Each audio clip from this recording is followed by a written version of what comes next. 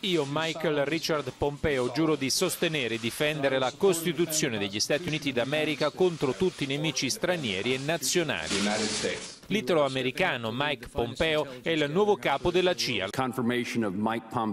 La sua nomina è confermata dal Senato con 67 voti a favore e 30 contrari, quasi tutti democratici.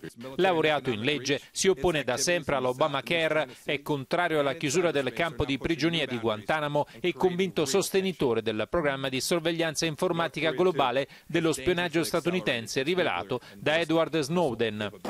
Donald Trump blinda così il settore della sicurezza della sua amministrazione dopo la conferma del capo del Pentagono James Mattis e del consigliere per la sicurezza nazionale Michael Flynn. Intanto fanno discutere i primi tre ordini esecutivi del neo-inquilino della Casa Bianca. No ai finanziamenti federali alle ONG pro aborto, fuori gli Stati Uniti dal trattato commerciale transpacifico e blocco delle assunzioni federali tranne che per i militari.